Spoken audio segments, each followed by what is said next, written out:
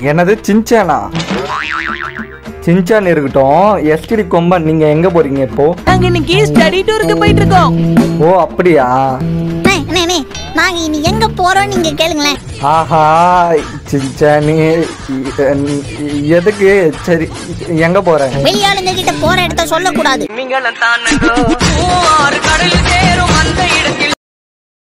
என்னது சின்சானா?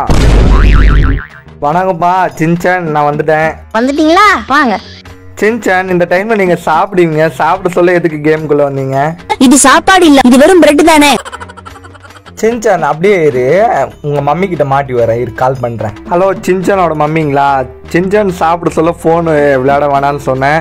அதுக்கு என்ன ரொம்ப கலாய்க்கிறாங்க. நீங்களே சொல்லுங்க. ஏட்டிக்கு போட்டியா பேசக்கூடாதுன்னு உங்ககிட்ட எத்தனை தடவை சொல்லிருக்கேன் ஏட்டிக்கு போட்டி பேச இங்க என்ன பட்டிமன்றமா நடக்குது? வாய மூடிட்டு சாப்பிட ஷின்சான் வாய மூடிட்டு எப்படி சாப்பிடுறது? திமிங்கலம் தானங்கோ ஆறு கடல் சேரும் அந்த இடத்தில் நண்பர்களே யார் யாருக்கெல்லாம் சின்சான் ரொம்ப பிடிக்குமோ அவங்கள பார்த்தீங்கன்னா ஆயிரம் கமெண்ட் தெரிக்க விடுங்க. சப்ஸ்கிரைப் பண்ணிடுங்க. அடுத்த பாட்டுக்கு யார் யாரெல்லாம் வெயிட் பண்றீங்க அப்படின்றத கமெண்ட்ல சொல்லிடுங்க. என்னது சின்சானா?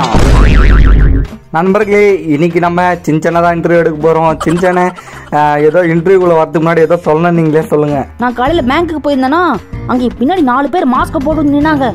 நான் அப்படியே பார்த்து மிரண்டேன். எப்பா சின்சானை நீயே மறந்துட்டியா அவன் எவன் தெரியலையே. சரி அப்புறம்? அவங்க சொன்னாங்க தம்பி தம்பி பயப்படாதப்பா. இங்க யாருக்கும் கொரோனாலாம் ஒன்றும் இல்லை. நாங்கள் பேங்க்கை கொள்ளடிக்கு தான் வந்திருக்கோம் சொன்னாங்க. அப்பதான் என் மனசுக்கு ஒரு நிம்மதியாச்சு.